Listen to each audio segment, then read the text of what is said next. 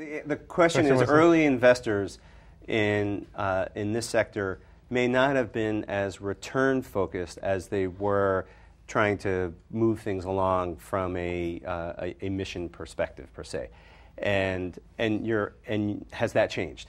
And you're absolutely right. If you look at just the volume of capital that's going into the market, and you look at the companies that were funded 15 years ago, 10 years ago, and their investors, there, it, it, was not mainstream investors. What's happened is that people have recognized that these are great investments. And it doesn't matter if you believe in climate change, if you believe in a low carbon economy, you could sit there and pencil it out and say, you know what, this is a great investment, this is a great company, and I'm going to get a return. And I think that's the best thing that can happen because it then opens up a whole set of investors that don't have to feel uh, a certain need or conviction. They're doing it from a return perspective. That's important because that's just getting more and more capital in the markets.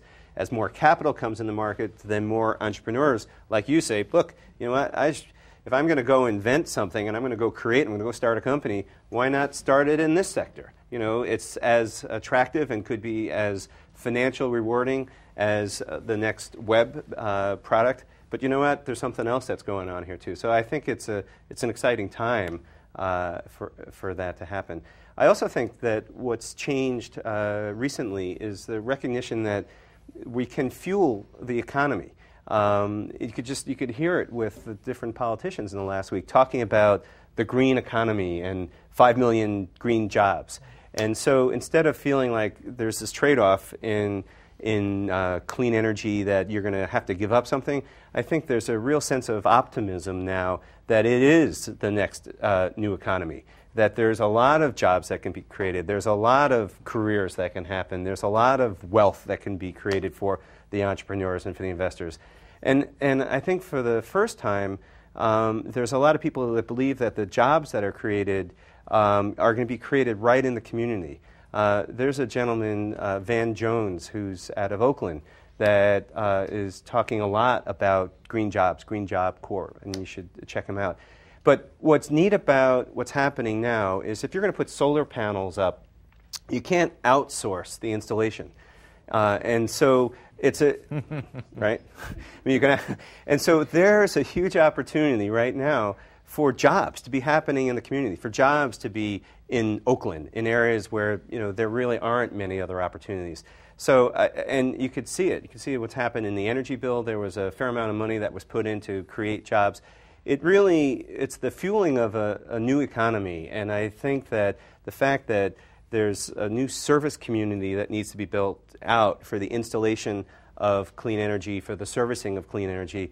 Uh, you know, I, I, I hope that it's an opportunity to kind of kickstart um, the economy. We, you know, uh, large-scale automobile manufacturing. You know, I, I, can't tell you whether it's coming back or not, but I will tell you that uh, putting solar panels on, it's happening. You, you know, the amount of people who are getting uh, new jobs that are created from the green economy is, is large and it's, and it's growing. So it's a real optimism that's happening out there. And let me throw my two cents in on that one just quickly is uh, anytime a Web 2.0 VC uh, feels a need to have a clean energy investment portfolio, you realize that this has become mainstream in Silicon Valley and Sand Hill Road.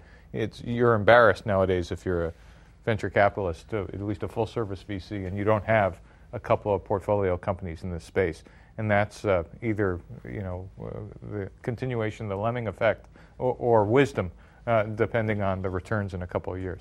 Well, uh, can I, let me just add on to that too, which I think uh, what's so exciting is that each of the asset classes are being mobilized to solve these problems. It's the, it starts with the venture capital community, and it's, it's very exciting what's happening right here. And then you start looking at Wall Street and you see you know, Citicorp saying $50 billion they're going to be putting towards uh, clean energy. Goldman Sachs. Goldman Sachs, you know, who's, who's been an, an incredible uh, investor in this sector. So all of the large investment banks are, uh, are investing, they're talking about it. Um, and you know what, I, I and I'm surprised I haven't mentioned this before, but energy efficiency uh, is a huge, huge opportunity and that's an area that has been underserved, underinvested, It's not quite as sexy as uh, the next fuel cell or solar, but it is right here, right now. Uh, green buildings can be retrofitted. And uh, there needs to be uh, so much more emphasis put on energy efficiency because it's right here, and it's not a trade-off of dollars. Those are, you know, those are dollars that will be returned immediately given the savings on the energy side.